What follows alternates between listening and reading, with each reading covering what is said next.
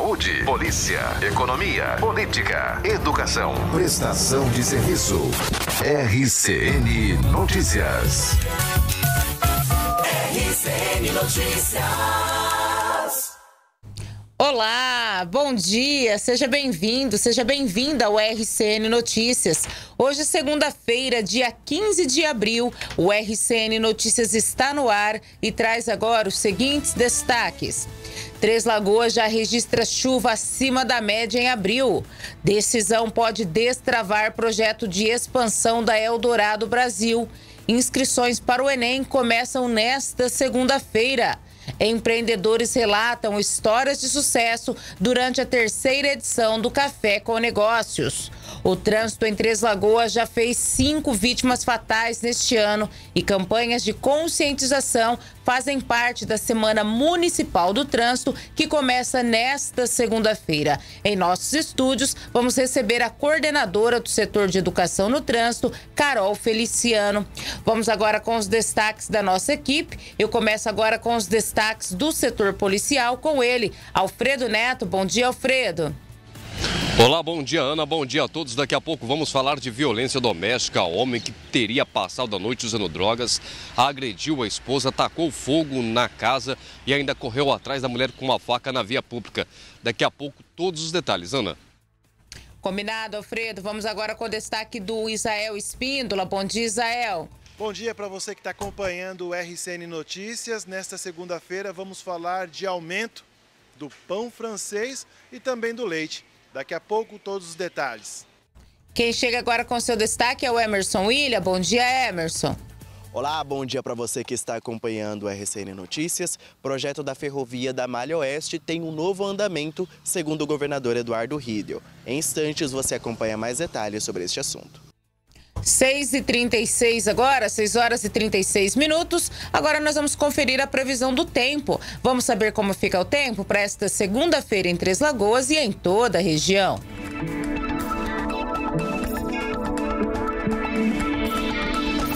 A probabilidade de pancadas de chuva isoladas. Em Três Lagoas, a temperatura mínima é de 24 e a máxima poderá chegar a 33 graus. Em Paranaíba, a mínima é de 24 e a temperatura máxima de 35. A Aparecida do Taboado registra temperatura mínima de 23 e máxima de 34. Inocência tem mínima de 22 graus e a máxima de 31. Em Água Clara, a temperatura mínima é de 24 e a máxima deverá ser de 29 graus.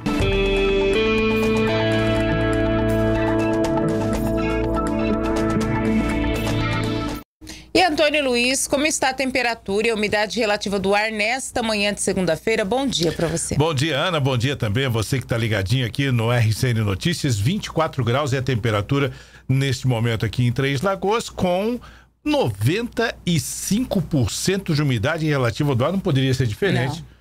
Poxa, choveu de balde, gente. Ô, é. e bota balde nisso, Poxa, já, de ficar preocupado, né? É. Poxa, será que o telhado vai aguentar? É. Porque choveu bastante mesmo. Vamos abrindo aqui a janela para o céu de Três Lagoas e tá aí, carranco escudíssimo. Muitas nuvens, Ana. Isso é previsão de mais chuva para hoje ou não? É, tem possibilidade de chover aí 40 milímetros, né? 40% na verdade, né? Uhum. 40% para hoje, né? Tá, embora o céu esteja bastante carrancudo, nublado agora cedo, né? Parece que vai chover a qualquer momento, mas tá dando chuva mais pro final da tarde pra noite, né? É. é e olha, gente, na verdade tá chovendo aqui em Três Lagoas desde sábado, viu?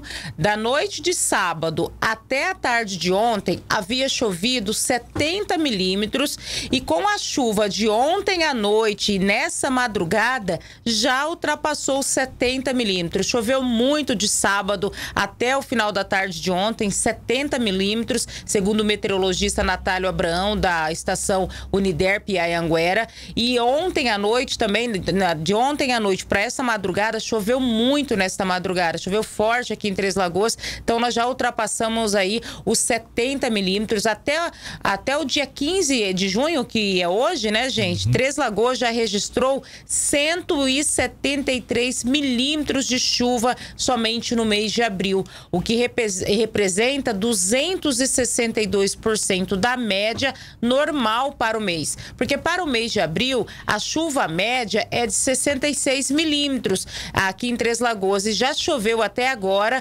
173 milímetros, segundo o Climatempo. Então já choveu 262% acima da média para o mês de abril, né? Porque abril não é esperado tantas chuvas, mas esse abril está diferente. Que bom, chovendo bastante em várias regiões do país, inclusive aqui em Três Lagoas.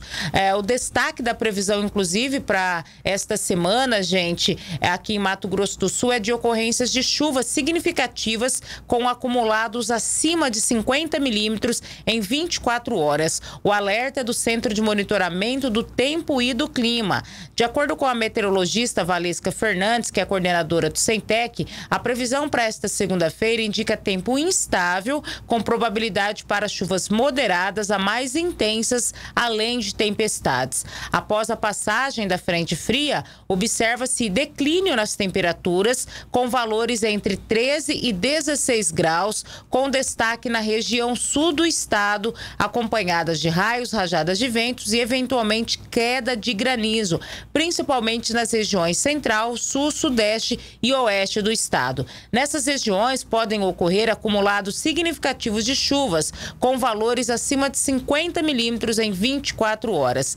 Ainda segundo o Centec, a aproximação e o avanço de uma frente fria favorecem a formação de nuvens e chuvas em Mato Grosso do Sul entre esta segunda-feira até terça-feira. As temperaturas mínimas devem variar entre 21 e 23 graus, com máximas entre 28 e 30 graus. Já para as regiões aqui do Bolsão e leste do estado, as mínimas previstas estão entre 22 e 24 graus e máxima de 30 até 33 graus. Então, a segunda-feira amanheceu assim nublada, um clima muito agradável para quem já estava uhum. cansado daquele calorão, para quem estava reclamando daquele calorão. O tempo hoje está muito gostoso, fresquinho, nublado e tem previsão de chover aí, é mais pro final da tarde, começo da noite. O tempo agora de manhã tá assim, gente. E a previsão é de chuva ainda para esta semana. Três Lagoas então registrou aí 173 milímetros de chuva nos primeiros 15 dias é, de abril. 6 horas e 41 minutos agora, 6 e 41. Vamos agora de informações do setor policial. Muito obrigada pela tua audiência, pela tua companhia. Fique à vontade para interagir com a gente. Facebook do JP News, Facebook da Cultura e da TVC. Vamos ao vivo agora com ele, o Alfredo Neto, que chega trazendo para a gente as primeiras notícias da polícia. A gente já começa falando, Alfredo, de um homem que foi esfaqueado. Ele foi encaminhado, inclusive, pelo SAMU ao hospital é, após ser esfaqueado. Conta pra gente essa ocorrência, Alfredo.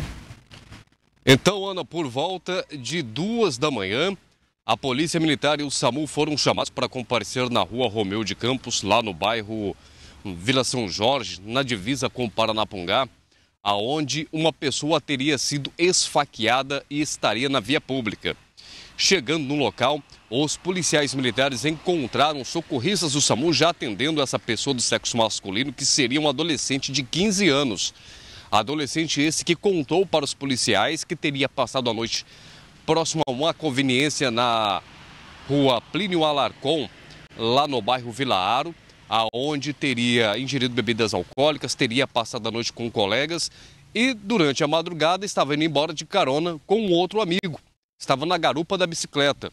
Quando, ao passar pelo local, sentiu uma dor nas costas, passou a mão para ver o que, que era e percebeu que estava sangrando e desceu da bicicleta e deitou na via pública até que o resgate chegasse. Questionado quem teria sido o autor da facada e o que teria sido a motivação, o mesmo disse que não sabia quem era, que não viu ninguém correr atrás, falar alguma coisa, apenas sentiu a dor e começou a sangrar não teria visto nenhuma pessoa suspeita, não teria discutido com ninguém, não teria percebido nada de errado, apenas sentido a dor e passado a sangrar e pedido para o colega ligar para o resgate. A polícia registrou o boletim de ocorrência na DEPAC, Delegacia de Pronto Atendimento Comunitário, Como não tem característica de autor ou suspeito, a polícia não fez rondas na tentativa de localizar alguém, mas durante a confecção desse boletim de ocorrência foi feita ali uma ação de abordagem a usuários de entorpecentes que ficam ali entre a rua Antônio Estevão Leal, a Avenida Antônio Trajano, Eloy Chaves, perambulando. Foram revistados, mas nenhum foi encontrado nada de ilícito ou algo que pudesse ligar ao crime, como uma faca ensanguentada ou algo do tipo. O caso vai ser investigado pela primeira delegacia de Polícia Civil. Já o adolescente foi levado para o Hospital Auxiliadora, aonde passou por exames médicos e ficou em observação na ala de enfermaria do Hospital Auxiliadora, aguardando pela evolução que seria ali passar pela cirurgia, aonde iria receber pontos nessa lesão causada nas costas. Agora o caso vai ser a primeira delegacia de polícia civil que vai investigar e vai tentar aí desvendar o que de fato aconteceu para culminar nesse esfaqueamento desse adolescente, Ana. Alfredo, mas uma outra ocorrência que chamou a atenção também neste final de semana foi um advogado que levou um tiro na perna. Isso mesmo, Ana. Na mesma madrugada de sábado, só que dessa vez por volta de 2h30, esse advogado de 74 anos estaria, segundo ele, indo para uma farmácia buscar um medicamento quando uma pessoa teria o abordado, ainda com o carro em movimento, anunciado o assalto e tentado pegar uma bolsa que estaria no banco do passageiro ao lado do motorista. Ao tentar impedir esse assalto, esse roubo, o ladrão teria disparado e essa arma que foi disparada, o projétil acabou acertando a perna desse advogado, que não chamou a polícia militar e nem a unidade de resgate. Foi por meios próprios, por conta até o Hospital Auxiliadora, aonde deu entrada. Por volta de 5 horas da manhã, a polícia foi chamada e, ao chegar no local, os policiais militares foram informados por enfermeiros que o médico estaria, ou que o advogado, perdão, estaria sedado, teria passado por cirurgia, estaria em repouso. Para os policiais militares, os enfermeiros deram essa versão, a qual foi repassada por eles pelo advogado. O caso foi registrado na DEPAC, Delegacia de Pronto Atendimento Comunitário, e vai ser investigado pela primeira delegacia e também pelo SIG, Setor de Investigações Gerais. Foi registrado como disparo de arma de fogo e também como assalto na forma tentada. Agora, a Polícia Civil que vai investigar o caso para tentar descobrir aí o que de fato aconteceu. A Polícia Militar, como não teve também características deste suposto assaltante, o local exato onde teria acontecido, não conseguiu fazer rondas para tentar localizar o suposto suspeito aí desse assalto. E o caso agora é somente a Polícia Civil por meio de um trabalho investigativo para tentar descobrir o que de fato aconteceu, quais as características desse assaltante e tentar identificá-lo para poder levá-lo para trás das grades se de fato aconteceu esse assalto, assim como foi relatado pelos enferme os enfermeiros, a qual prestaram os primeiros socorros a esse advogado que passou as informações repassadas por ele no momento que ele buscou atendimento médico, Ana. Tá certo, Alfredo. A gente segue acompanhando esses casos. Obrigada, viu, Alfredo? Já já o Alfredo Neto volta com mais informações do setor policial. 6 horas e 47 minutos, 6 e 47. É, agora em pouco nós estávamos falando da previsão do tempo, né? Choveu bastante, 173 milímetros nos primeiros 15 dias é, de abril. Somente neste final de semana, mais de 70 milímetros foi registrado de chuva aqui em Três Lagoas. E estou recebendo a informação que alguns bairros da cidade, né, ficaram bastante aí castigados com essa chuvarada. A região ali do bairro Vila Alegre, né? O pessoal diz que está bem intransitáveis, intransitáveis as ruas e também ali na Baixada do Alvorado, do Alvorada, né? A informação é de que ali também nesta madrugada aí os moradores é, tiveram que passar a noite com água no joelho, porque a água invadiu algumas residências ali na Baixada do Jardim Alvorada, um local que sempre quando chove muito, os moradores sofrem por conta é, da água que acaba invadindo as residências. E nesta madrugada de ontem para hoje também não foi diferente. Situação complicada ali na região do Jardim Alvorada. A prefeitura já informou algumas vezes que as obras ali da Avenida Jari Mercante, as obras de macro drenagem que estão em execução ainda não estão prontas, né? E somente após a conclusão dessas obras é que se vai resolver esse problema dos alagamentos ali nesta região da cidade. A gente segue acompanhando a conclusão dessas obras para que realmente esses problemas de alagamentos sejam é, solucionados aqui em Três Lagoas. 6 horas e 49 minutos agora, 6 e 49 E olha só, gente, em Três Lagoas, o número de acidentes de trânsito registrado aí nos primeiros meses deste ano já acendeu um sinal de alerta às autoridades. Entre janeiro e abril de 2024, aconteceram 186 acidentes, sendo 182 com vítimas. Cinco pessoas já morreram vítimas de trânsito neste ano. No ano passado, de acordo com o levantamento do pelotão de trânsito, ah, foram registrados 17 mortos ao longo do ano, entre janeiro e dezembro. A quantidade de infrações de trânsito também aparece com altos índices. Em quatro meses, Três Lagoas registrou 7.752 infrações, o que corresponde a 75 ocorrências por dia envolvendo veículos. Como forma de prevenção e orientação orientação aos motoristas, o Departamento Municipal de Trânsito da Secretaria de Infraestrutura, Transporte e Trânsito realizará a partir de hoje, segunda-feira, a Semana Municipal de Trânsito. Essa é a 18ª edição da ação, que seguirá até sexta-feira, com o objetivo de promover mais segurança em ciclovias, ruas e avenidas do município, mediante ações educativas. A ação ela antecede a campanha realizada no mês nacional em alusão ao trânsito, que é o mais Maio Amarelo. E daqui a pouquinho nós vamos conversar ao vivo com a coordenadora do setor de educação no trânsito, a Carol Feliciano, para falarmos justamente sobre o trânsito em Três Lagoas, quais ações estão previstas para esta semana municipal do trânsito, como que o departamento de trânsito tem trabalhado diante dessa quantidade de acidentes que têm sido registrados aqui em Três Lagoas. 6 horas e 50 minutos agora, 6 e 50. A gente fala agora sobre pão, gente. Olha só, vamos falando sobre o aumento nos preços dos alimentos. Desta vez, do pão francês, que ficou mais caro em 2024. A reportagem é do Israel Espíndola. Se depender do trigo, o preço do pão francês vai ficar mais caro. O aumento está ligado diretamente à matéria-prima para a confecção do pãozinho, que depende da importação. Isso porque o Brasil, tradicionalmente, é um importador de trigo e enfrenta desafios de autossuficiência devido ao consumo crescente que ultrapassa a produção interna. Em 2024, o preço do pão francês sofreu um aumento de 1,71% em Mato Grosso do Sul. É o que aponta a pesquisa de mercado do Departamento Intersindical de Estatística e Estudos Socioeconômicos, o DIEESE. Quem não gostou nem um pouco de saber deste aumento foi o consumidor. Está salgado sim, subindo diariamente. É, realmente, aumentou bem mais. Ele era mais em conta, né? Uhum. Acho que antigamente a gente pagava 25, reais, 25 centavos no pão, né? Uhum. Agora já está esse valor, né? E aí como é que faz para comer o pãozinho todo dia no café da manhã? Diminui a quantidade? Como é que faz? Dá uma diminuída, né? Um pouco, né?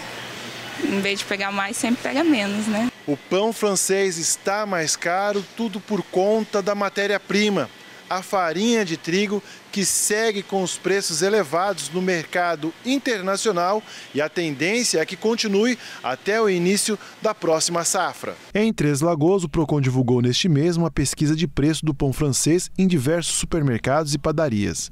Por aqui, o menor preço praticado foi de R$ 10 o quilo. Já o quilo mais caro é de R$ 23,95. Neste supermercado, o quilo custa R$ 13,90. Só não aumentou porque o grupo negocia grande quantidade de trigo, como explica o gerente Valdir Corrêa de Paula. Nós temos uma central de compras, que é em Garça, e nós temos uma rede de supermercado que é cujo são 23 lojas hoje na parte do supermercado. Então, devido às negociações, é, apesar da alta que está tendo, é, devido às negociações, a compra de uma grande quantidade de farinha, a gente consegue ainda manter esse preço. Já o leite de caixinha tem uma variação de 48,50%. O menor preço praticado em Três Lagoas é de R$ 5,90. Já o maior valor é de R$ 8,99. Assim como acontece nas refeições, o trabalhador precisa se reinventar na hora de tomar o seu café da manhã, como explica Ellen. Lá em casa a gente faz assim, a gente reveza por causa também da nutrição, né? Porque o pão francês a gente não pode exagerar. Então tem vez que é o pão, aí a gente dá uma revezada, um dia é um cuscuz ou uma tapioca. Aí eu não como pão francês todo dia. Importante mesmo é o consumidor pesquisar. O Valdir faz um alerta de que se o trigo continuar aumentando, o preço do pão francês deve ser reajustado. A tendência é com a alta já desse material, né, da, do produto, que vem tendo em todo o, o, o setor de farináceo, de pães, a alta tá logo logo a gente não vai conseguir é, manter esses preços que a gente vem conseguindo até hoje. É, tá aí, pão francês mais caro, né? Vê esse pãozinho, né, Totó, logo Ei! cedo. Ei, já tomou o seu cafezinho, Totó? Eu tô, eu tô tomando o meu aqui, mas o meu só o pretinho puro, por enquanto. Só Não, o purinho. cafezinho. Esse é, é, é, tipo, é o de jejum de todo mundo é. pela manhã, né? Um pãozinho francês, passado aí uma manteiguinha é. ou uma margarina e o cafezinho, né? É, vai esse bem, né? Vai bem, oh, vai bem. vai bem, é, mas tá mais caro, hein? Vai custar um pouquinho mais no, é. no, no bolso, né?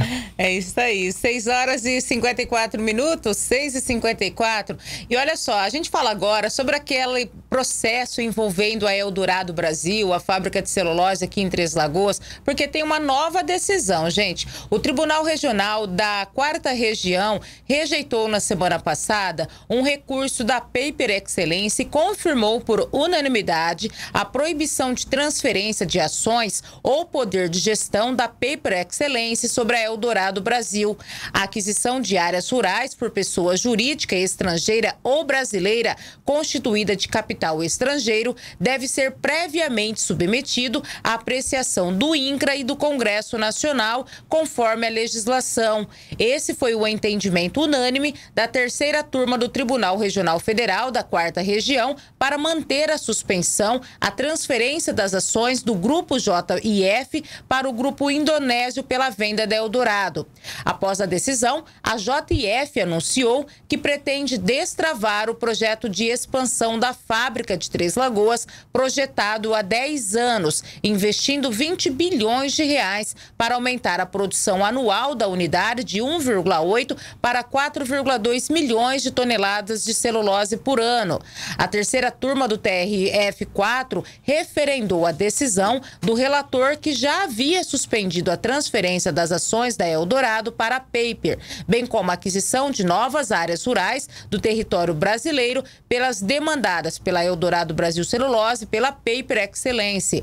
No início do ano, a Superintendência Regional do INCRA em Mato Grosso do Sul também divulgou um parecer informando que o contrato de compra e venda de ações celebrado entre a JF Investimentos e a Paper, tendo por objetivo a transferência do controle da Eldorado Brasil, demandava prévia autorização do Congresso Nacional e dos demais órgãos competentes, em razão da transição representar a aquisição de uma empresa proprietária e arrendatária de imóveis rurais por outra equipada estrangeira. No caso, a Paper Excellence, que comprou em 2017 a fábrica de celulose em Três Lagoas por 15 bilhões de reais. A Paper, por sua vez, declarou que a operação não compreende compra de terras rurais, mas sim um investimento investimento em um complexo industrial e que adquiriu uma fábrica de celulose onde a madeira é insumo e não a atividade principal não sendo necessário, portanto, ter propriedades rurais ou arrendamento de terras. Ainda de acordo com a empresa, a Eldorado consome um volume significativo de sua madeira por meio de contratos de parcerias com proprietários de terras brasileiras que não estão sujeitos às restrições relativas ao capital estrangeiro. A Paper Excellence detém 49,41% da Eldorado e luta para assumir 100% do seu controle. A JF tem o controle de 50,59% das ações. A fábrica ela foi vendida em 2017 por 15 bilhões, entretanto, na época, a Paper não pagou totalmente os 15 bilhões, pagou um percentual, por isso que ficou é, com a metade, até que o restante fosse pago. Mas é, de lá para cá, houve várias ações na justiça e em relação a essa última decisão, a Paper Excelência esclarece que a decisão do TRF4 referente a liminar que suspende a transferência da Eldorado ainda é provisória. A liminar voltará a ser apreciada no julgamento do mérito quando será avaliado o recurso do autor da ação popular contra a sentença de primeira instância. Então, essa é uma das decisões envolvendo a fábrica de celulose Eldorado Brasil, porque tramitam aí na justiça várias ações tanto aqui no TRF4, é, na, na vara do estado de São Paulo também. Então, estão, são várias ações tramitando na justiça envolvendo a venda da Eldorado Brasil. Em 2017, a JF colocou a fábrica à venda, o grupo da Indonésia, né, que pertence à Paper Excellence, foi lá Falou, vou comprar a, paper, a, a fábrica de Eldorado por 15 bilhões de reais. Ok, depositaram mais de 3 bilhões de reais e o restante seria depositado depois. Só que no meio do caminho, a JF desistiu, não quis mais vender, alegou uma série de questões e queria inclusive devolver, quer devolver inclusive os 3 bilhões e pouco que foram pagos aí pela Paper Excellence para desfazer o negócio. A Paper, por sua vez, não aceita e está tramitando aí na justiça várias ações. Na semana passada, saiu uma dessas decisões é, em que a JF tenta anular esse processo de venda foi favorável à JF essa decisão, uma liminar ainda, então precisa se aguardar as demais decisões, os demais trâmites. A JF, por sua vez, disse que se conseguir resolver essa situação, pretende, inclusive, é, colocar em prática o projeto para expansão da fábrica em Três Lagoas. Esse projeto que foi elaborado há 10 anos, né? 10 anos atrás, a, Eldora, a, a JF, inclusive, já havia anunciado o projeto de expansão da fábrica, o projeto Vanguarda 2.0, mas de lá para cá, diante de tantas situações, esse projeto de expansão acabou não acontecendo. Ambas as empresas, tanto a JF quanto a Paper Excellence, fala que se for resolvida essa situação e se uma ou outra assumir 100% do controle da fábrica, elas pretendem é, expandir a fábrica de celulose de Três Lagoas, construindo a segunda linha. Sete horas em ponto agora, sete em ponto. Vamos no intervalinho e a gente volta para falar justamente sobre essa questão de celulose, viu, gente? Porque a celulose ela poderá ser é, escoada por meio da ferrovia. Já já nós vamos falar sobre este assunto. Apoio. Estoque Materiais de Construção. Capitão Olinto Mancini, 3565. Cicobi Metalcred. Faça mais que uma escolha financeira. Simcart. Tudo por você. Hospital Auxiliadora. 104 anos de cuidado com a vida. RCN Notícias. Construir é mais que vender os produtos da sua construção ou reforma. Construir é participar, é estar ao seu lado em todos os momentos. Na Estoque você encontra todos os materiais que precisa para a sua obra com as melhores ofertas. Estoque Materiais de Construção, Avenida Capitão Olinto Mancini, 3565. Fone 3522 0454. Venha construir com a gente. Você já conhece o SimCard, o cartão de benefícios do servidor municipal que veio para fomentar o comércio local. Com o SimCard, os usuários têm diversos benefícios, sem taxas, sem mensalidades ou anuidades, até 45 dias para pagar, compras parceladas sem juros e aceito em vários segmentos do comércio. Tudo isso para facilitar a vida do servidor municipal, gerando economia, agilidade e segurança. SimCard, tudo por você. Fale com a SimCard. WhatsApp 99868 6278. Auxiliadores do Bem, o cartão de descontos do Hospital Auxiliadora para toda a família. Com ele você conta com a assistência de toda a estrutura do hospital, descontos em consultas médicas, exames de imagem e laboratório, procedimentos, pacotes cirúrgicos, internações, UTI e parcerias em produtos e serviços. Atendimento 24 horas todos os dias. Mais informações, entre em contato pelo WhatsApp 99279 6422. Cartão Auxiliadores do Bem. Notícias.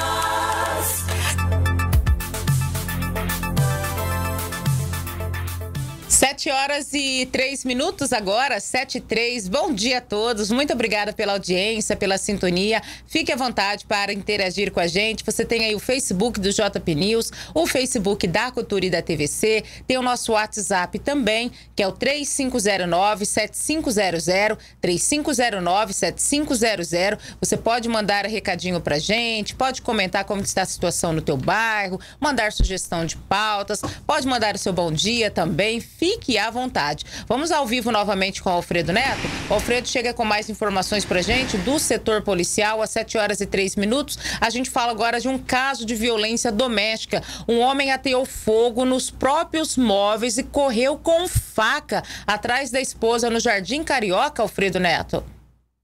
Isso mesmo, Ana. Por volta de 6h40 de sábado, a Polícia Militar e o Corpo de Bombeiros foram chamados para comparecer na Rua das Garças, aonde uma mulher estaria sendo perseguida pelo companheiro, homem esse que estaria com uma faca tentando dar cabo à vida dela. Quem chegou primeiro no local foi o Corpo de Bombeiros e a mulher de 33 anos, vítima dessa violência doméstica, estava na casa dos vizinhos que interviram e conseguiram controlar o incêndio e apartar a briga e impedir que essa mulher fosse esfaqueada pelo marido.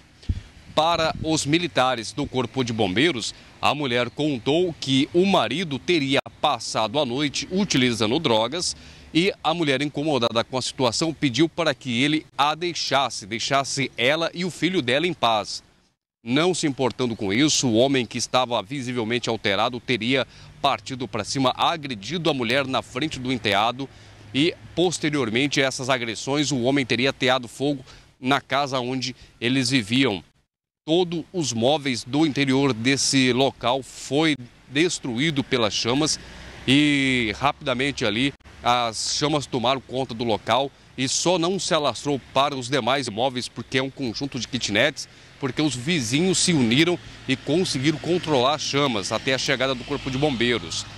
A mulher foi seguida pelo autor de 35 anos até a rua, aonde ele continuou agredindo a mulher e com uma faca ameaçado dar fim à vida dela. Por sorte, vizinhos interviram na situação e impediram que a mulher acabasse sendo morta pelo homem. Devido o homem ter passagens pela polícia no estado de São Paulo e está no semiaberto, a situação que ele precisa estar ali a cada dois, três meses assinando presença no fórum e ele não estaria indo no fórum de Araçatuba acreditando estar com um mandato de prisão expedido. O mesmo evadiu-se do local e a Polícia Militar, assim que chegou, só pegou as informações com a vítima e a levou até a DEPAC, aonde foi registrado o boletim de ocorrência.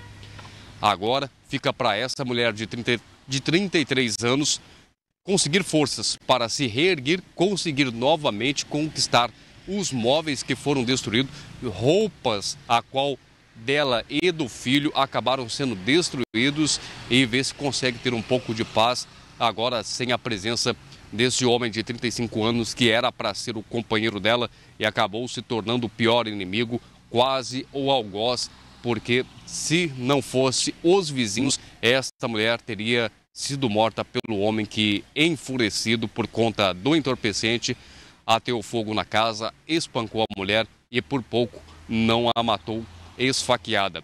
A mulher teve algumas escoriações, escoriações no supercílio, no rosto, nas costas. Foi feito ali um atendimento primário na unidade de resgate do Corpo de Bombeiros. Como não havia lesões graves, não foi preciso fazer ali suturas ou fazer a remoção da mesma para a UPA, a unidade de pronto atendimento, cabendo somente ela acompanhar os policiais militares até a DEPAC e fazer o exame de corpo de delito, Ana. Lamentável, hein, Alfredo? Mas falando ainda em violência, Alfredo, uma mulher também, ela deu entrada ontem na UPA com o nariz quebrado, com escoriações, mas ela disse que não foi agredida? É, Ana, por volta de 8h45 da noite, a Polícia Militar foi chamada por funcionários da UPA devido a uma mulher ter chegado com o nariz quebrado e com suspeita de violência doméstica. Para os policiais militares, as funcionárias da UPA contaram que a mulher teria chegado no local e dito que teria se lesionado acidentalmente, mas que as características seriam de violência doméstica.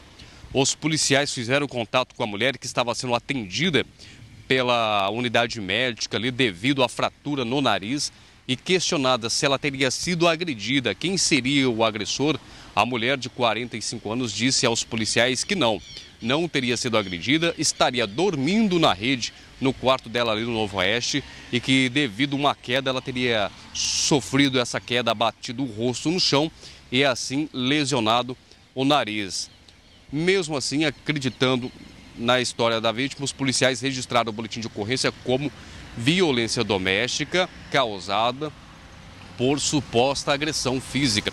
E o boletim foi registrado na DEPAC com os relatos da vítima, a qual ela negou ter sido agredida, mas foi feito ali por conta de precaver caso houvesse outra intercorrência por conta de violência doméstica e os policiais pudessem resguardar ali a situação de que foi feito atendimento, foi feito esse levantamento e a própria vítima teria dito que não teria sido agressão, mas sim um acidente ocasional por conta de uma queda.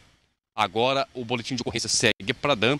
Dan é essa que vai assumir o caso e vai novamente conversar com a vítima para ver se de fato foi isso ou não, para abrir ou não o inquérito, Ana. Tá certo, Alfredo. Obrigada, viu, pela tua participação. Tá aí as principais ocorrências, né, registradas neste final de semana no setor policial. 7 horas e 9 minutos, 7 e 9. A gente volta para falar sobre a questão da celulose, né, que a gente estava falando agora há pouco da Eldorado Brasil. O projeto de expansão das malhas ferroviárias em Mato Grosso do Sul ganhou mais um sinal positivo, desta vez por parte do governo federal. Em reunião com o Ministério dos Transportes em Brasília, o governador Eduardo Riedel sinalizou que o projeto é, deve ficar pronto ainda neste ano. E a Eldorado, que pretende abrir, construir um ramal ferroviário, teve inclusive o pedido é, concedido na semana passada. A reportagem é do Emerson William. A Malha Oeste, um projeto que está em andamento há mais de 10 anos, recebeu um sinal verde do Ministério dos Transportes. O projeto deve ligar Corumbá, no interior de Mato Grosso do Sul, a Mairinque, interior do estado de São Paulo, passando por Três Lagoas. São mais de 1.600 quilômetros de linhas férreas. A expectativa é de que a ferrovia aqueça a economia da região e traga melhorias para o escoamento da produção no estado. Em visita a Brasília, os governadores de Mato Grosso do Sul, Eduardo Riedel, e de São Paulo, Tarcísio de Freitas, estiveram com o ministro Renan Filho para tratar sobre o assunto. Os entendimentos estão avançando bem, com todas as partes interessadas, as empresas que estão se instalando, a operadora, que é a Rumo, né? E a gente vai avançar para chegar num consenso desse melhor projeto e poder iniciar a, a, operação da Malha Oeste, que é o objetivo do Mato Grosso do Sul. Segundo o governador, apesar de o projeto estar em andamento, ele ainda não foi concluído. A expectativa é de que o governo estadual invista 6 bilhões de reais na construção da ferrovia da Malha Oeste. A última reunião realizada em Brasília resultou em um sinal positivo para a continuidade do projeto antes de dar início à execução. Riedel prevê que o projeto seja concluído e apresentado ao Ministério ainda em 2024. A partir de feita a definição e dizer, olha, esse é o projeto, nós vamos a mercado, ou numa renegociação com a Roma, o investimento das partes é esse, aí você tem um cronograma de execução, mas acredito que esse ano a gente tem a definição do que fazer com a estratégia da Malha Oeste. Uma outra linha paralela à Malha Oeste tem sido estudada pelas indústrias de celulose Eldorado e Suzano. A ferrovia faria uma conexão entre Três Lagoas e Ferro Norte até a estação localizada em Aparecida do Taboado. Aí, a partir de feita a definição e dizer, olha, esse é o projeto, nós vamos a mercado, ou numa renegociação com a Roma, o investimento das partes é esse, Aí você tem um cronograma de execução, mas acredito que esse ano a gente tem a definição do que fazer com a estratégia da Malha Oeste. Esta semana, a Agência Nacional de Transportes Terrestres, a ANTT, concedeu ao Grupo Eldorado Brasil a desapropriação de 7 milhões de metros quadrados para a construção da ferrovia paralela. A decisão foi publicada no Diário Oficial da União. Serão 89 quilômetros de ramal ferroviário, com um investimento projetado em 890 milhões de reais. O trecho poderá transportar mais de 1 milhão e 700 mil toneladas de celulose produzidas na fábrica de Três Lagoas. Com a construção da ferrovia, a expectativa é de que o trânsito na BR-262 sofra uma redução na intensidade. A concessão da rodovia ao Estado também foi uma pauta do encontro entre os governadores e o ministro. É, hoje, é, o governo federal, através do Ministério do ministro Renan, tem toda boa vontade de poder fazer a delegação para o Estado. Eles estão aguardando o nosso projeto, né, que está sendo executado. A gente tem aí a expectativa de uh, final de maio uh, ter isso agora, ter isso definido e trazer aqui ao Ministério. Né, eles aprovando e aí nós vamos para o mercado. Então, isso é mais curto prazo. Uh, a gente percebe no ministro Renan toda boa vontade da gente ter uh, essa delegação por parte do governo federal ao Mato Grosso do Sul. A equipe de reportagem procurou o Grupo Eldorado Brasil e a Suzano, mas as indústrias preferiram não comentar sobre os desdobramentos da Malha Oeste. 7 horas e 14 minutos agora, 7 e 14. A gente fala agora sobre lixo, gente. Porque a quantidade de materiais recicláveis que tem a destinação correta em Três Lagoas é baixa. A maioria das pessoas não tem o hábito de fazer a separação do lixo. Em Três Lagoas, os materiais recicláveis vão para a cooperativa Arara Azul, que é responsável pela separação e destinação correta dos produtos. No final do ano passado, o galpão da cooperativa pegou fogo e ficou totalmente destruído. A empresa responsável pelo local já construiu um novo barracão, mas as obras ainda não têm previsão de conclusão. Mesmo assim, a coleta de materiais recicláveis segue sendo feita. Olha, trabalho nós nós estamos seguindo normal, né, como era. Não reformaram outro barracão ainda, já fizeram a cobertura, mas eu acredito que ainda vai demorar um, um tempo para voltar lá, que eles vão colocar o, aqueles hidrômetros, tudinho, caso, se caso houver um incêndio de novo, entendeu? Mas a gente, nós mesmos não temos a previsão, quanto que ainda não, não passaram para nós ainda não. Enquanto as obras não são concluídas, a cooperativa funciona em um espaço improvisado cedido pela empresa. Isso nós entramos em outro local, no outro barracão ali de frente, ao lado da RD, né? Ferragem de RD, que parece que o contrato lá também parece, foi feito para um ano, né? Então a gente estamos trabalhando lá, sabe? E, mas tá normal, o material tá vindo normal, nós estamos recebendo. A única coisa, para quem estiver me ouvindo agora, né? A semana que vem nós vamos começar a fazer a baia do vidro. Então, muitas vidraçarias aí estão tá reclamando da gente, porque nós não estamos recebendo, mas nós não temos a baia e nós não temos onde ponhar. Então, a semana que vem nós vamos começar a fazer uma baia lá. Aí nós vamos começar a pegar vidro de novo. Em Três Lagoas, embora tenha coleta seletiva que funciona normalmente, poucos são os materiais recicláveis que acabam tendo a destinação correta, que deveria ser a cooperativa de materiais recicláveis. Eu, eu acredito que tá uns 3%, está chegando uns 3% sim, tá? É muito pouco, é muito pouco. Pelo total de lixo produzido, né? É, pelo total de lixo produzido é muito pouco. Mas é, é, é a norma do, no, no, Brasil inteiro, né? O Brasil, se você puxar todo o que é no Brasil, é 3% só. No Brasil é recolhido de, de é, material reciclável. Devido ao incêndio na cooperativa, a coleta seletiva ficou prejudicada, mas, segundo o presidente, já voltou ao funcionamento normal. Ele pede que os moradores continuem fazendo a separação do lixo. Está continuando, a coleta seletiva passa, então a gente pede para eles, né, que teve uns dias parado, a gente pede para a população colocar para fora de novo, que nós estamos trabalhando. Pode passar, os caminhões estão passando normal, os dias certos em cada bairro, tá? E fazendo a coleta e levando para nós. Por que, que ficou parado? Não, porque aí teve um incêndio lá, né? Atrás um outro local para nós ficar. Aí nós ficou parado dois meses. Eloir Ribeiro destaca que, além de contribuir com o meio ambiente, a destinação correta dos materiais recicláveis ajuda muitas famílias. O que a gente, que eu tenho para passar para o pessoal é o seguinte: hoje nós estamos em 21 cooperados lá, entendeu? A média de nós trabalhamos é de 21 até 24 cooperados.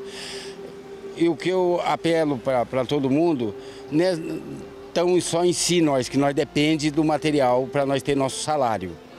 Mas não só de nós, de todos eles. Você já imaginou a nossa cidade? Se ninguém fizer isso aí, vai tudo para o aterro. As ruas, você vê o papelão hoje, como caiu o preço, ninguém está querendo papelão, vir, praticamente virou lixo papelão, ninguém quer. Você já vê a sujeira que você vê na rua? Você imagina se ninguém for fazer essa coleta? Para onde vai isso? O aterro sanitário nosso, se ele tiver de durar Vamos falar 10 anos, ele não vai durar 5 anos. Aí já vão ter que investir em outro aterro sanitário, custa caro isso daí.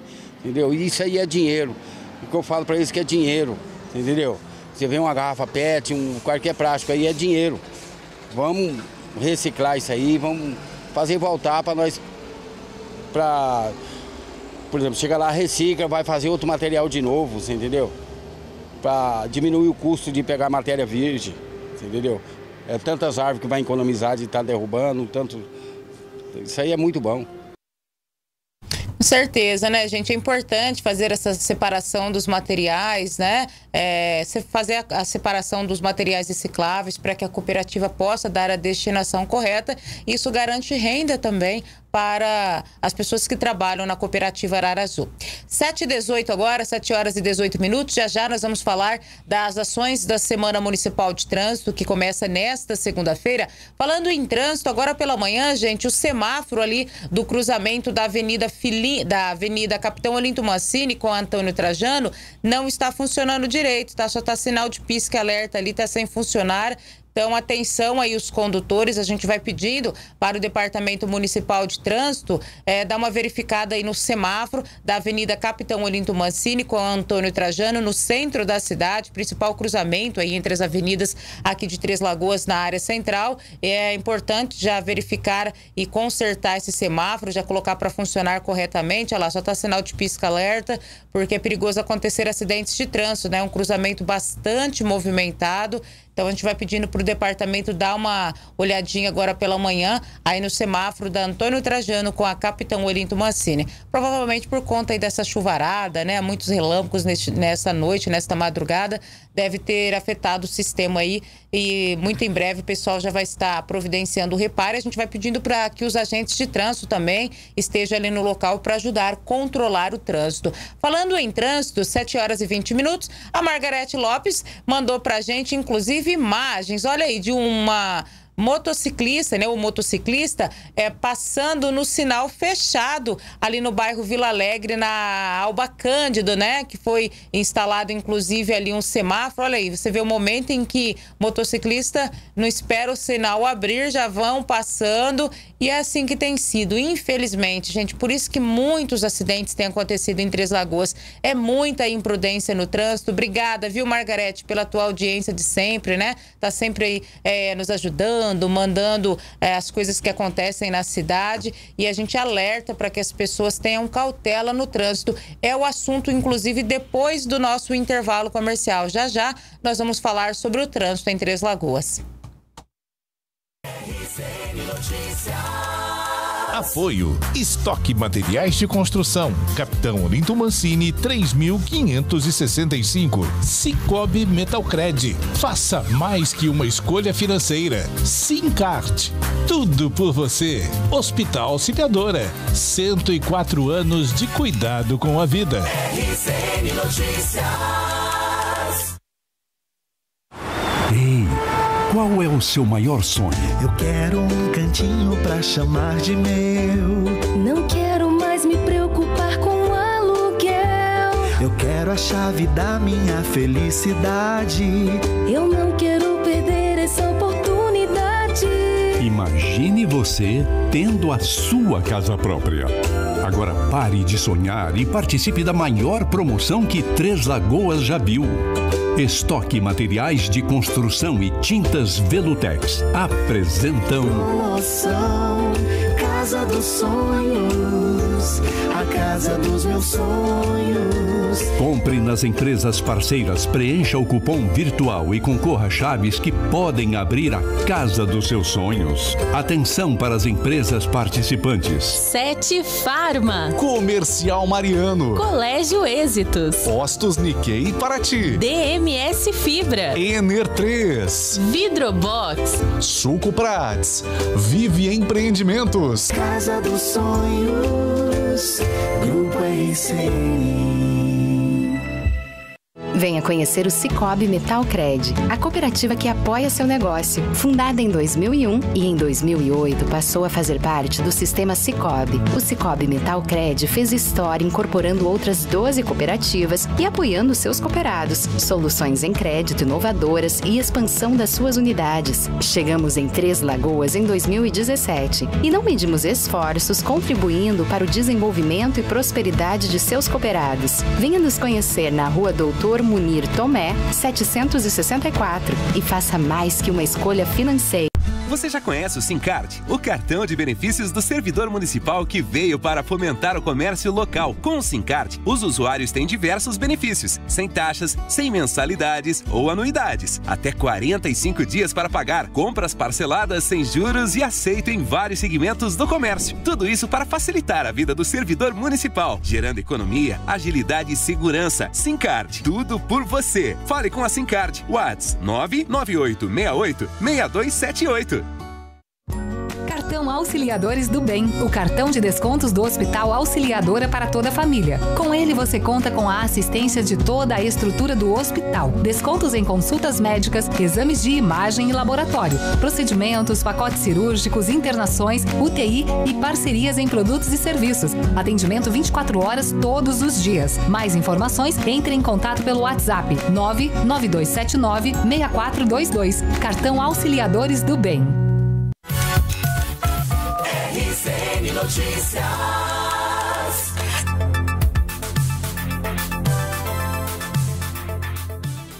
Sete horas e 24 minutos agora, 7 e 24 Muito obrigada pela tua audiência, pela tua companhia. E atenção os motoristas que trafegam aí é, constantemente pela Avenida Jari Mercante. A avenida está interditada porque teve um problema ali, uma, uma cratera, né? É, surgiu por conta dessa chuvarada dos últimos dias aí de sábado, ontem, essa madrugada choveu bastante e a Jari Mercante está em obras, né?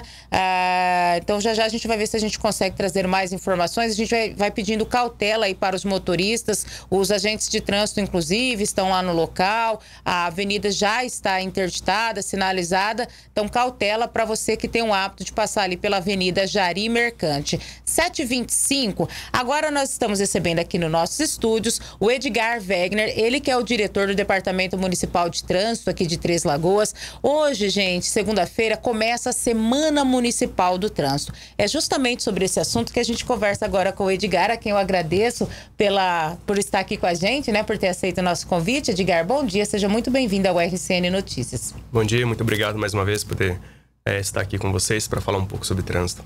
Edgar, hoje começa a Semana Municipal de Trânsito. O que está programado para esta semana e o porquê desta semana?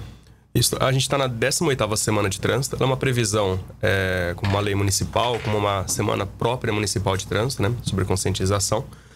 A gente está com programação em atendimento em escolas, a gente tem eh, algumas abordagens que vão ser realizadas na cidade com cunho educativo. Temos também uma fala na Câmara Municipal, enfim, temos um, um certo roteiro ali. E esse ano a gente tem como foco ah, os veículos com mobilidade individual. Então, para aqueles que trafegam com bicicleta, com patins, o foco nosso deste ano vai ser direcionado a esse público. O que, que está previsto para esta semana, além da participação na Câmara Municipal? Vocês pretendem estar nas ruas das cidades, os agentes? Porque, na verdade, desde a semana passada, né? A gente já tem visto os agentes nas ruas fazendo campanhas. Isso. A gente tem então como uma previsão aqui, eu vou até falar de Uhum. forma rápida aqui. Hoje é feita a abertura, vai ser na Praça Central, na Praça Ramos Tebet, né? Com orientações voltadas ao ciclista. Amanhã, na terça-feira, a gente tem, além dessa fala na Câmara Municipal, temos algumas lives que vão acontecer a partir das 10 horas da manhã, que vai Uhum. ser dito sobre legislação, sobre engenharia de trânsito, educação de trânsito. Na quarta-feira temos um passeio ciclístico com a Escola Estadual Bom Jesus. Começa bem cedinho ali, por volta das sete e meia da manhã. Na quinta-feira, a gente tem Blitz Educativa, com parceria com o Centro Pop, com a Patrulha Mirim. Próximo da Lagoa, teremos também, próximo ao meio-dia, orientações aos pais responsáveis nas entradas de escolas. E também uma palestra para alunos do Teatro de Trânsito. Perdão, para o Teatro Municipal, também com a Diretoria de Cultura. E para finalizar, eh, na sexta-feira temos ainda um expediente que vai ser realizado na Tia Negra. Então a gente vai fazer a confecção de cartões de idoso e de deficiente para todos que estão nas proximidades daquela é, naquela comunidade em si. Legal. né? O porquê que os ciclistas, né, as bicicletas são o foco da campanha deste ano? Por que, que vocês escolheram abordar esse tipo de usuário do trânsito?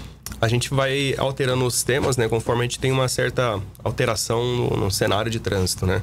Então a gente tem uma quantidade considerável de bicicleta, de bicicleta elétrica na cidade e a gente tem dado essa atenção por conta disso, né? É, considerando que é um público que não tem uma habilitação, então a forma que chega a instrução para eles geralmente é com educação de trânsito. Não vai ser então com uma educação de habilitação é, tradicional, de autoescola, né? Então a gente consegue alcançar apenas dessa forma, né? Ou pelo menos dessa forma. Então o foco nosso deste ano vai ser por conta disso.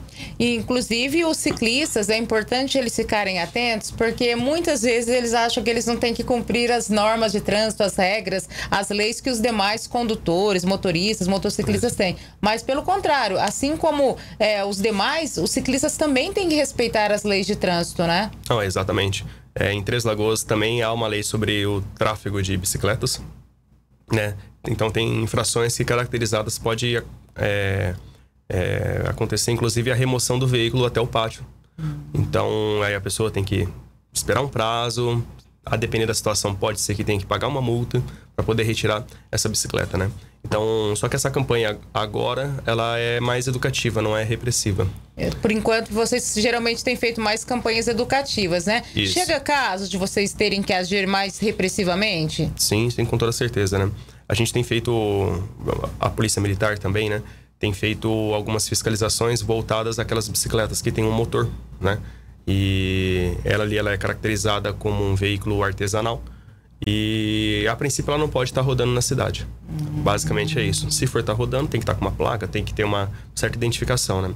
E a partir da semana passada, no final de semana passado, a gente começou essa fiscalização. A Polícia Militar já fez algumas orientações, alguns recolhimentos, né? Então, daqui para frente, a gente acredita que já será percebida essa diminuição no fluxo desse tipo de veículo aqui em Três Lagoas. Isso é muito bom, porque as pessoas estavam reclamando muito dessas bicicletas com esses motor que eles colocam em casa, ou não sei onde que eles conseguem arrumar e faz um barulho, um barulho danado, provocando inclusive acidentes. Então, é muito importante esse trabalho de fiscalização para coibir essa prática em Três Lagoas. Agora, em relação às bicicletas elétricas, de um modo geral, a gente viu que também houve um aumento. A gente sabe da importância desse veículo para as pessoas, porque é um veículo mais barato, ele contribui muito, ajuda muitas pessoas que precisam trabalhar, se deslocar, mas as pessoas precisam ficar atentas também a como se comportar, como andar no trânsito corretamente, né? Sim, é, é um veículo que alcança uma velocidade considerável também pela estrutura dela. E depois do pedestre, a bicicleta, o ciclista, né, é o mais vulnerável no trânsito, né? E aí você tem um veículo que já alcança uma velocidade mais elevada, 20, 30 km por hora. Chega aos cruzamentos, se ocorre uma colisão, né, ali a, a chance de você machucar muito é grande. E no caso das bicicletas elétricas, não precisa ter habilitação e pode desenvolver essa velocidade 30, 40 por hora? Então, a bicicleta elétrica, que ela tem uma menor potência, a legislação diz que ela não precisa de habilitação. Consequentemente, não vai precisar de um capacete. É recomendado, mas se você não tiver, não vai é, ter uma sanção por conta disso. Aquelas bicicletas elétricas, ela tem uma potência maior, em resumo, né? É, uma potência maior, ela já é necessário que você tenha emplacamento, que você faça a condução semelhante à de uma motocicleta, né? Que você não utilize uma ciclovia ou uma ciclofaixa, né? Que você utilize o fluxo comum, capacete, não é o capacete de bicicleta, é o capacete próprio, então, de veículos, como a motocicleta. Mas essas bicicletas atuais que a gente tem visto aí, 30, 40, elas podem andar pela ciclovia normalmente. Isso. O, o ideal é, o, é conferir pela resolução. Boa parte dessas bicicletas, elas são sim consideradas é, como um ciclo elétrico. Então ela tem uma potência elevada, que essa aí alcança uma velocidade bem maior, né? Algumas chegam a 50, 60 km por hora, né? Essas bicicletas, elas necessitam sim do emplacamento, entendeu? Só que a legislação, ela faz a previsão de que até o final de 2025 tem que ser é, feito o cadastro dessas bicicletas pelo Estado. Então, cada Detran vai fazer esse cadastro. Acontece que elas saem de fábrica sem o código VIN, que é aquilo que a gente chama de chassi, né? O número de chassi. E elas não têm. Então, tem que ser feito esse cadastro com o Detran. A gente ainda não viu uma movimentação do Detran referente a isso, pelo menos não foi demonstrado como isso tem que ser feito. Então a fiscalização aguarda pelo menos o fim desse prazo. A orientação que a gente passa atualmente é essa. Então, se ela tem uma potência maior, ainda mais os que estão adquirindo por agora, ela já tem toda essa numeração, já consegue realizar o cadastro, é, o registro, melhor dizendo, com Detran, emplacamento e tudo mais, né? Então você tem tudo aquilo que você já tinha na, nas antigas, ou nas atuais, né? Cinquentinhas, né? Uhum. Você tem que ter o emplacamento, tem que ter uma habilitação, uma ACC. Então você segue toda aquela regulamentação. E no, no caso, para as bicicletas comuns mesmo, é, existe a possibilidade dessas bicicletas serem apreendidas também ou não? Porque elas não têm chassi, né? Elas não, não têm placa, enfim. Uhum. Tem sim. É, como dito também, a, a, existe a Lei 2628 municipal, que ela faz a previsão sobre o, a circulação de bicicletas na cidade, né? E tem algumas proibições, algumas áreas de proibição, como na Lagoa Maior, a gente tem aquela pista de caminhada, naquela localidade não pode é, trafegar com bicicleta, assim como também não com skate, né? Na- ali é para correr, basicamente é para correr. A bicicleta, a única exceção é quando tá com uma criancinha, né, acompanhada dos pais, que não coloque em risco, esteja junto com os pais, não esteja correndo, né? Então, dessa forma, pode. Do contrário, a gente tem algumas possibilidades, sim, de, de, de recolhimento, né? Vocês já chegaram no passado a fazer algumas apreensões ali pro pessoal que fica caminhando na pista, Sim. né? Na verdade, a gente tem toda semana quase recolhimento de bicicleta. É. Isso. É, é que são em casos bem pontuais que a fiscalização acaba alcançando e acaba não, não sendo notado, talvez, pela sociedade. Mas a gente, quase semanalmente, a gente tem feito esses recolhimentos de bicicleta. Olha, em especial na Lagoa ou na área central da cidade. Interessante, importante saber sobre isso, porque as pessoas reclamam muito justamente sobre a questão de bicicletas na pista de caminhada, é, skate, patinete, as pessoas estão caminhando, tem que desviar dessas bicicletas, até bicicleta elétrica, gente, andando na pista de caminhada. E vocês têm feito, então, esse trabalho de fiscalização. Que bom, isso é muito importante. Agora, Edgar, em relação aos acidentes, quantos acidentes vocês já contabilizaram este ano em Três Lagoas com mortes? A gente é, fez a contabilidade inicial ali que tínhamos três mortes, né? Foram, salvo engano, duas em janeiro, uma em fevereiro, né? E depois, aqui no perímetro nosso, é, é, municipal, a gente não teve. O que tiveram foram na rodovia, Nas rodovias, que, né? isso, que aí já fica pro, pra, como dado da PRF, né? Uhum. Então, a busca do zero, né? Que a gente não tenha mortes em Três Lagoas. Os acidentes em si, a contabilização a gente consegue fazer sempre no final de um período, Uhum. né? Que a gente precisa pegar um banco de dados. A gente atende uma quantidade muito pequena de acidentes daqueles que de fato acontecem em Três Lagoas. A gente atende, a princípio, acidentes que vai ter uma atuação ou do bombeiro ou do SAMU na cidade. Então, nesses casos, são acidentes que têm vítima. Outra ala dos acidentes que temos na cidade são aqueles sem vítima. Sem vítima não vai ter um atendimento nem da polícia militar no local, né? A não ser que a pessoa pague uma taxa, ela faça a questão dessa forma, né? Que aí tem essa possibilidade. E a pessoa faz então da forma online. Então a gente pega geralmente os dados do SAMU, né? Uhum. Fazemos um compilado e conseguimos ter uma ideia se teve um aumento ou uma redução.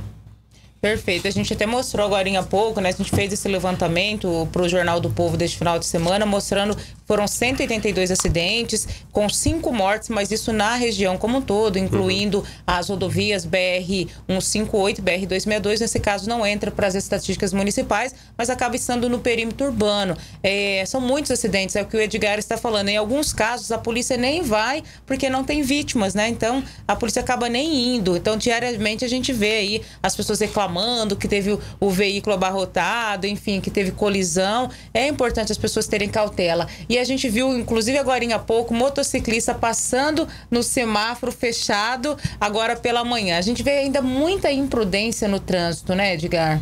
Isso, a, a, a causa do. A maior causa do- dos acidentes aqui em Três Lagoas é a falta de respeito à sinalização, né? A gente sempre bate que, é, conferindo os locais que temos, acidente com vítima fatal. Então, ali acontece a morte de alguém. Uhum. É observada quanto à engenharia. A engenharia está perfeita. É considerado quanto à fiscalização. A fiscalização existe. Você acha que a sinalização de Três Lagoas ela é bem feita? Três Lagoas é uma cidade bem sinalizada. Ela é bem feita, ela já foi elogiada pelo CETRAN do Mato Grosso do Sul como é, pela presidência no interior a melhor cidade em termos de sinalização, né? Uhum. A pavimentação nossa também é muito boa. Uhum. Então os locais em que aconte- aconteceram um acidente em que resultou com uma com uma vítima fatal, né, com uma Uhum. morte, são locais que têm uma boa sinalização, que tem uma boa pavimentação. É, outra outra informação, o local que mais tem acidente em Três Lagoas, a via, né, que mais tem acidente em Três Lagoas, é o Linto Mancini.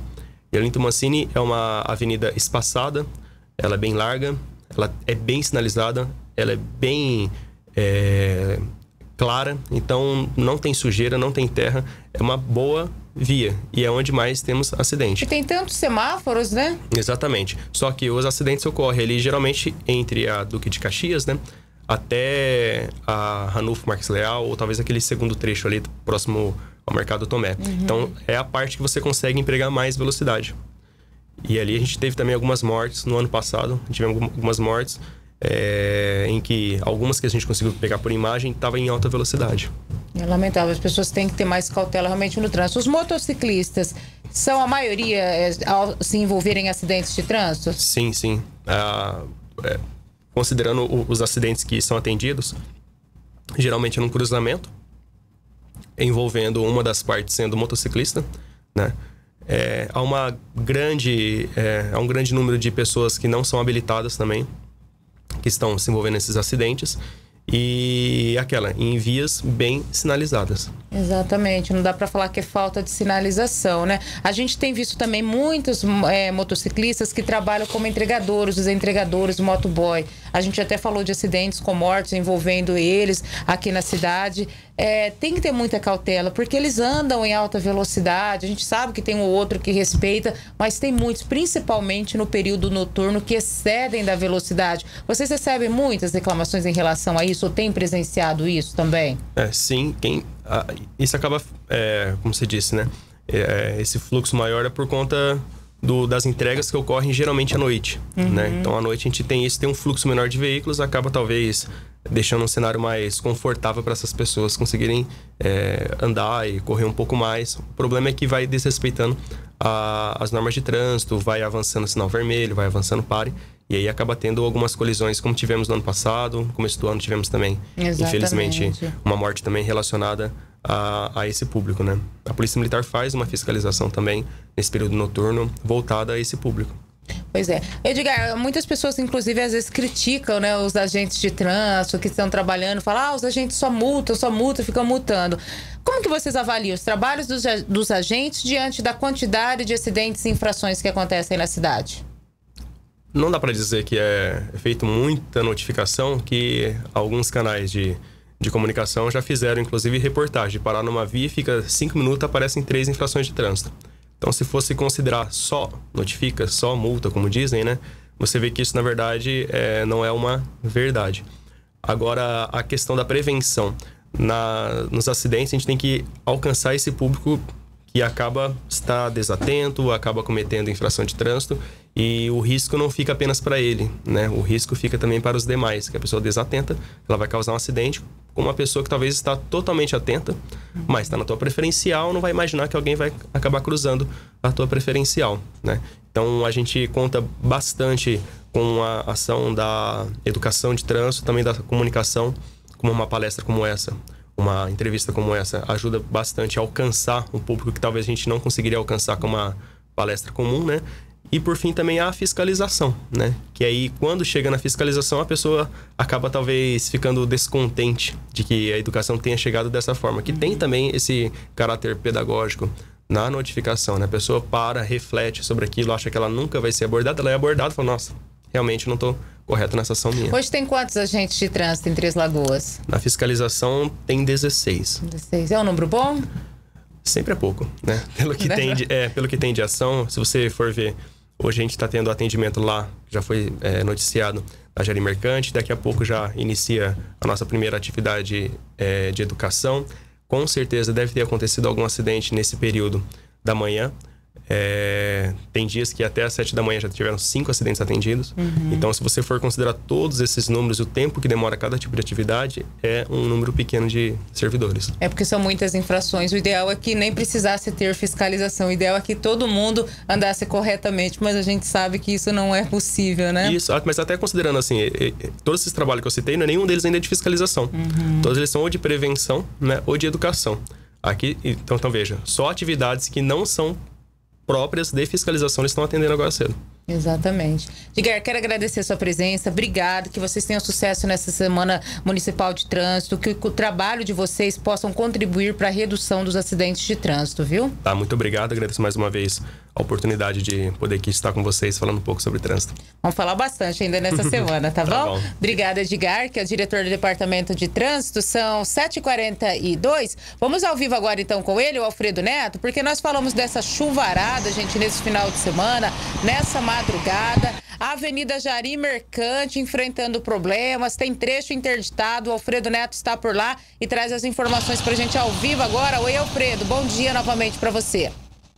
Olá, bom dia novamente, Ana, bom dia a todos. Estamos na Jari Mercante, cruzamento com a Bernardino Rodrigues Montalvão, que está interditada desde esse trecho até o cruzamento com a doutor Amilcar Congrubaços. Eu vou só pedir licença aqui para poder virar a câmera, Ana, para quem está nos assistindo nesse momento poder ver a situação que ficou por conta da chuva. O pessoal já está aqui para poder fazer aí o trabalho de levantamento, alguns buracos que foram abertos por aqui na Jaré Mercante, até aquele trecho aonde a gente pode acompanhar a máquina lá à frente está com problema. Lá na frente aonde está a máquina tem um trecho também aonde cedeu e mais à frente aqui aonde vai passar aquela caminhonete ali tem uma galhada de árvore ali para poder orientar os condutores de outro local que cedeu à galeria de águas pluviais. Muita água caiu entre as lagoas durante a tarde de ontem, também a manhã e à noite foi pior ainda, com o volume de chuva que acabou caindo. E a gente vê que essa chuva acabou trazendo alguns transtornos. Aqui, Ana, para quem está no Jardim JK, no Alvorada, temos o piscinão. O piscinão que está na sua cota máxima. Cota máxima, aonde a água que está descendo da rua Dr. José Amilcar Congro Bastos está vindo aqui para o piscinão.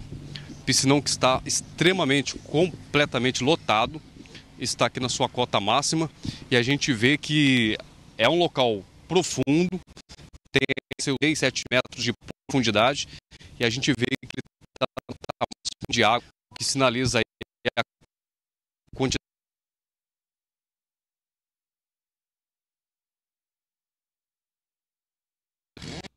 Estamos com um probleminha aí com o Alfredo, né? Agora tá ok? Já voltou? Nós estamos restabelecendo contato com o Alfredo Neto, que está mostrando pra gente agora ao vivo, às 7 horas e 45 minutos, a situação da Avenida Jari Mercante. Gente, complicada a situação da avenida, cratera eh, foi aberta aí por conta dessa chuvarada. É uma avenida que está recebendo, recebeu obras de macrodrenagem e também pavimentação asfáltica. Ah, Agora sim, os maquinários já estão aí no local para poder fazer o reparo. Agora a gente vai entrar em contato, inclusive, com a Secretaria de Infraestrutura para verificar o porquê desses problemas aí na Avenida Jari Mercante, o que, que aconteceu, que o asfalto afundou, é um asfalto recém-inaugurado, né?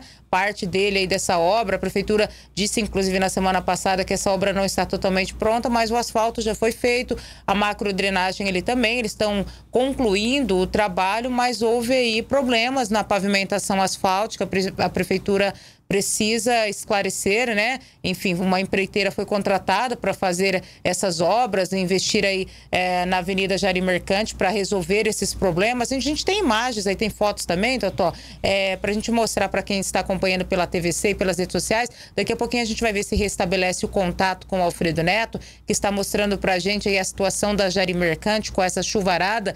Eh, A gente precisa de uma resposta para saber o que de fato aconteceu aí nessa obra, o porquê que o pavimento cedeu. Ali foram colocadas tubulações, a gente mostrou inclusive o início desta obra, quando foi iniciada. É uma obra importante para resolver o problema dos grandes alagamentos eh, nesta região da cidade, inclusive na região do Jardim Alvorada que mais uma vez foi castigado por essa chuvarada, alagou várias ruas ali na Baixada do Jardim Alvorada. Olha aí o asfalto, gente, cedeu. Precisa verificar o que, que aconteceu, o que, que afundou esse asfalto novo, né? É, enfim, é, vamos entrar em contato com a prefeitura. Olha aí, a situação ali da Jari Mercante. O piscinão também está é, cheio, né? Precisa ser esvaziado para evitar que ele transborde, que a água transborde ali para a rua, para evitar transtornos aí para os moradores dessa região da cidade. 7h47, vamos no intervalinho, a gente já volta com mais informações. Inclusive, gente, peixes é, foram vistos nas ruas da cidade. Daqui a pouquinho eu vou mostrar os vídeos. Apoio Estoque Materiais de Construção. Capitão Olinto Mancini 3565 Cicobi Metalcred Faça mais que uma escolha financeira. Sincart. Tudo por você. Hospital Auxiliadora 104 anos de cuidado com a vida. RCN Notícias. Construir é mais que vender os produtos da sua construção ou reforma. Construir é participar, é estar ao seu lado em todos os momentos. Na Estoque você encontra todos os materiais que precisa para a sua obra com as melhores ofertas. Estoque Materiais de Construção, Avenida Capitão Olinto Mancini, 3565. Fone 3522 0454. Venha construir com a gente. Qual é o seu maior sonho? Eu quero um cantinho pra chamar de meu. Não quero mais me preocupar com aluguel. Eu quero a chave da minha felicidade. Eu não quero perder essa oportunidade. Imagine você tendo a sua casa própria. Agora pare de sonhar e participe da maior promoção que Três Lagoas já viu. Estoque Materiais de Construção e Tintas Velutex apresentam Promoção, casa dos sonhos. A casa dos meus sonhos. Compre nas empresas parceiras, preencha o cupom virtual e concorra a chaves que podem abrir a casa dos seus sonhos. Atenção para as empresas participantes. Casa das Cores. Rede de Postos Sete Mares. Instituto Visão Solidária. Casas Alea. Morena Mulher. Cicobi Metalcred. Leituga Saúde. Loteamento AT. Casa dos sonhos. Grupo RCN.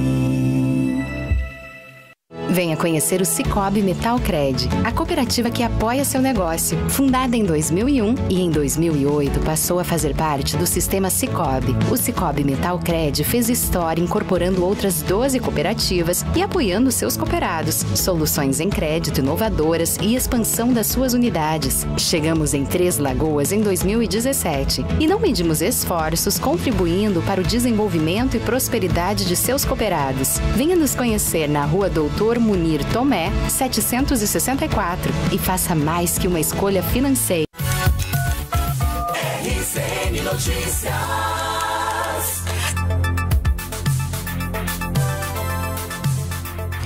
7 horas e 50 minutos agora, 7h50. Gente, na manhã da última sexta-feira, empresários de Três Lagoas e região se reuniram em mais uma edição do Café com Negócios. O evento é focado no empreendedorismo e traz histórias aí de sucessos de empresários da nossa cidade. Confira na reportagem do Emerson Ilha, que fez a cobertura do evento.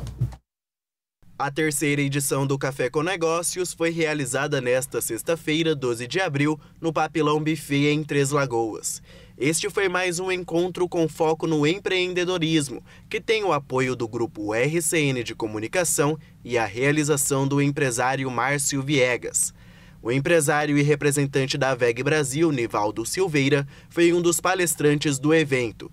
Ele destaca a atuação do grupo em Três Lagoas e Mato Grosso do Sul. É uma empresa de quase 40 mil funcionários, fundada há 62 anos em Jaraguá do Sul, Santa Catarina, e fornece todos os equipamentos elétricos industriais, comerciais, residenciais, como motores elétricos, transformadores, usinas solares, seja para as residências, seja para as fazendas, automação residencial. Então, assim, é um leque muito grande da quinta maior empresa do Brasil, que eu vou trazer um pouco aqui para discussão no Vale da Selva celulose. Nós estamos na maior região produtora de celulose daqui uns anos do mundo e a gente tem muito que apresentar para o Mato Grosso do Sul. Aqui em Três Lagoas, por exemplo, nós temos os integradores de solar, nós temos as oficinas de motores elétricos e a gente atende quase todas as cidades. A gente está dividindo porque geograficamente é um estado muito grande. Então a Seminária é responsável aqui por praticamente 60 a 70% do estado. O empresário também pontuou sobre a oportunidade de investimentos que Três Lagoas proporciona como polo industrial do estado. Sou suspeito, eu sou de São Paulo, eu estou no ramo elétrico há quase 30 anos e mudei para Três Lagoas para minha família exatamente por isso. Aqui vale a pena investir, a gente tem muito potencial e principalmente a gente tem uma falta de mão de obra gigantesca e a gente tem uma demanda crescente. Tem mais projetos chegando dentro do ao redor de Três Lagoas que demandam alguns serviços que são contratados de fora do estado. Então a minha proposta, a minha intenção é mostrar para os empresários locais que se eles tiverem uma, uma, uma estrutura, tiverem a parte técnica e os profissionais, eles podem atender parte dessa demanda que hoje vai embora do estado. E esse dinheiro não fica aqui em Três Lagoas. Então é potencializar e capacitar os empresários locais para a gente crescer Três Lagoas juntos. O empresário e pecuarista Ângelo Tiberi, que vem de uma tradicional família do município, destaca a trajetória de renome na região. Sou três lagoense, nascido aqui, né? E tudo que a gente construiu dentro de um trabalho de família e de negócios foi aqui em Três Lagoas. Então, uma satisfação muito grande. Aqui a gente acho que vai apresentar uma vida simples, humilde, mas bem sucedida. Então, o trabalho da gente é com a pecuária, nasci dentro disso. Meu pai veio para cá de colo desde 1938, ele nasceu. Meu avô médico, recém-formado aqui em Três Lagoas. E viemos aqui para engrandecer essa cidade que criou aí um, um tamanho enorme. Hoje é uma grande potência, né? Você vê grandes indústrias aqui e a pecuária nossa persiste aqui.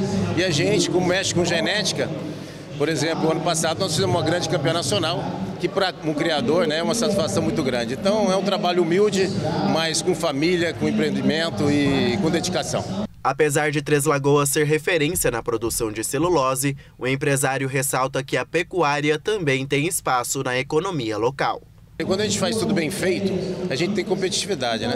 Hoje a gente é referência na criação do Nelore Pintado do Cinti, são duas raças zebuínas, por intermédio do meu pai que chegou aqui há muito tempo. Então a gente persistiu com esse segmento, o segmento pecuário, apesar daqui hoje ser celulose, né? Todo mundo sabe que cresceu com essas grandes indústrias, que também é muito saudável mas dentro do nosso trabalho aqui na Fazenda São João, na beira do Rio Paraná, onde a gente nasceu, a gente permanece até hoje sendo referência dentro da pecuária. O Café com Negócios é um evento que só tem crescido aqui no município de Três Lagoas.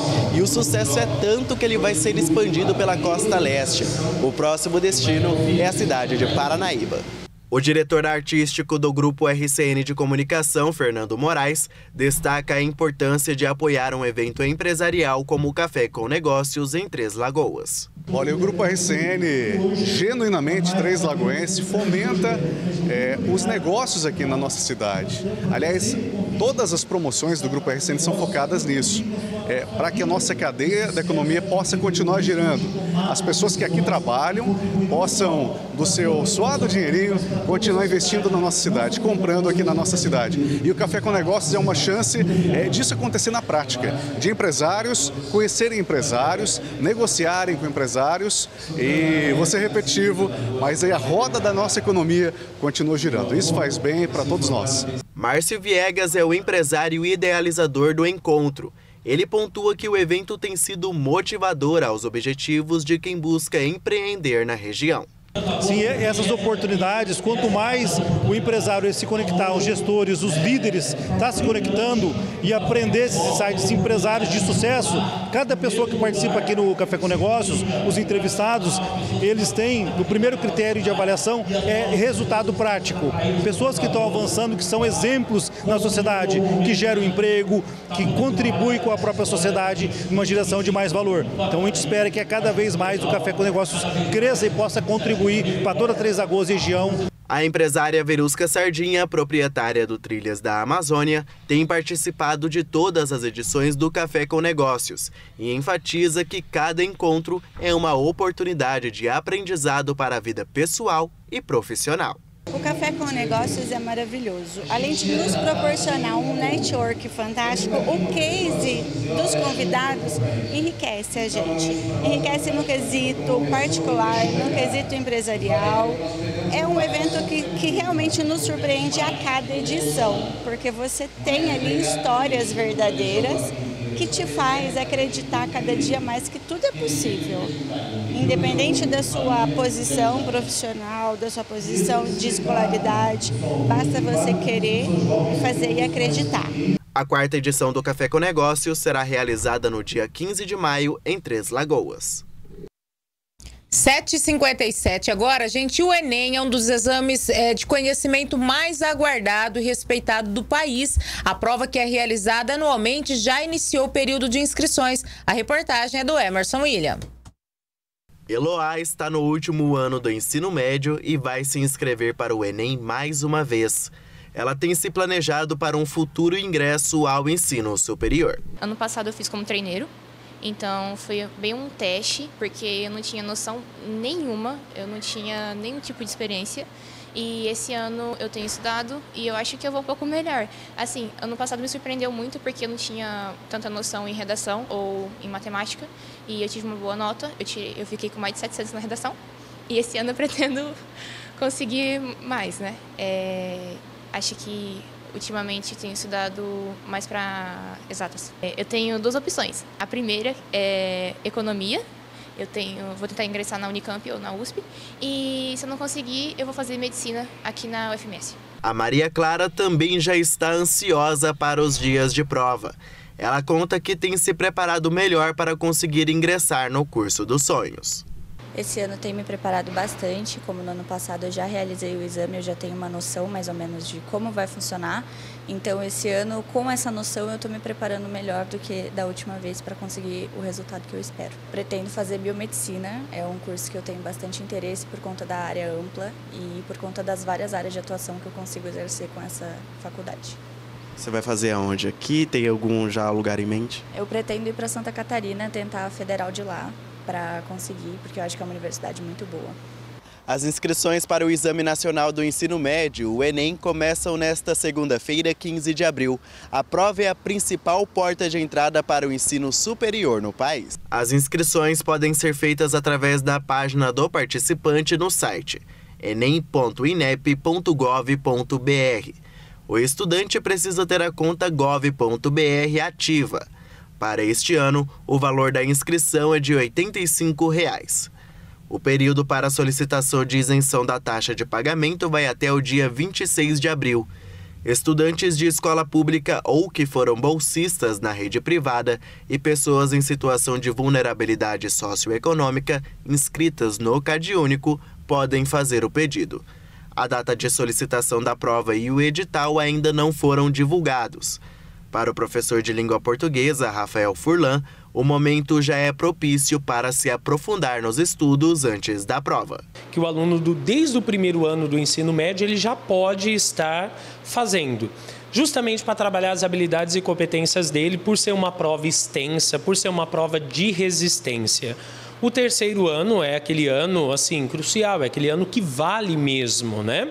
Mas desde o aluno fazendo, desde o primeiro ano essa prova, tenho certeza que ele vai conhecendo né, o estilo de texto, conhecendo aquilo que expede nessa prova, para poder no dia, né, que são dois finais de semana, ele ir muito bem. Está se aproximando, é hora agora de fazer as revisões, ainda buscar muito conhecimento, né? querendo ou não, nós temos aí cinco, seis meses, dá tempo ainda. Então é aquele momento, assimilar conteúdo para colocar em prática já já, quando né, começam as inscrições e no dia da prova. O Enem é dividido em cinco eixos do conhecimento linguagens, ciências humanas, ciências naturais, ciências da matemática e redação. Para o professor, este último é o que merece uma maior atenção, e ele explica o porquê. Nós sabemos que um texto é dissertativo argumentativo e vale mil, né? muitos pontos aí. O que esse aluno precisa? começar a partir de agora já produzir textos nesse formato, buscar repertório, entrar, ler jornal, assinar revista, ir na fontes de dados, pesquisa, IBGE, DataSUS, buscar conteúdo. Isso é importante. Por quê? Quando ele vai fazer essa prova, ele vai ter dados, ele vai ter uma citação filosófica em mente, que é importante, alguma questão fílmica, que também vai agregar muito para ele no dia dessa prova, e conhecer o que cobra o Enem. É importante o aluno buscar as outras provas dos Enems passados e olhar o que caiu em língua portuguesa, o que caiu em matemática, o que vem caindo em história durante os três últimos anos. No ano passado, o Enem teve 2.405 candidatos em Três Lagoas. O número de inscritos vem crescendo ao longo dos três últimos anos no município. 8 horas e 2 minutos. Gente, para finalizar, agora eu falei dessa chuvarada nesse final de semana. A gente recebeu imagens aqui, inclusive, a outro, Totó, outro vídeo primeiro, e peixes soltos aí nas ruas por conta dessa chuvarada. É, tem um piscinão ali na rua Wilson Carvalho Viana e ele inundou e lá tava cheio de peixinho. Olha aí a quantidade de peixes nas ruas da cidade. Pessoal pegando os peixinhos ali e que o morador fez? Foi lá e soltou esses peixes na Lagoa Maior. Ele pegou junto com a família ali, olha só, encheu uma bacia com os peixes que foram pegos ali na rua por conta do alagamento, né? O piscinão que inundou, ele foi e jogou na lagoa aqui em Três Lagoas. A gente inclusive vai fazer uma reportagem aí com esse senhor para ele contar essa situação aí, ele mostrando esses peixes que foram soltos ali na lagoa, né? Os peixinhos estavam ali no, no chão. Aí ele foi lá com a família, o filho, a esposa, encheu a bacia e jogou os peixinhos lá na lagoa. É, cheio de peixe lá na, naquele piscinão da Wilson Carvalho Viana. Gente, já estouramos nosso tempo, não dá tempo de mais nada. Amanhã a gente volta com mais informações aqui no RCN Notícias. 8 horas e 3 minutos. Muito obrigada pela tua companhia. Um ótimo dia para você, uma excelente semana e até amanhã.